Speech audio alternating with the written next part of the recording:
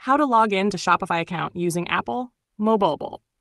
Hey everyone, welcome back to How to Mastery. In today's quick tutorial, I'll show you how to log in to your Shopify account using Apple ID on your mobile device.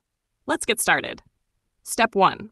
Open your mobile browser and go to shopify.com. Step 2. Tap on the Login button in the top right corner. Step 3. On the login screen, tap Shushed Continue with Apple. Step 4. If you're already signed into your Apple ID on your phone, Shopify will automatically use it. If not, you'll be asked to sign in with your Apple ID and password or use Face ID or Touch ID to confirm. Step 5. Once confirmed, Shopify will log you in and take you to your admin dashboard. If you manage more than one store, you may be asked to select the store you want to open. And that's it. You've successfully logged into your Shopify account using Apple on your mobile device.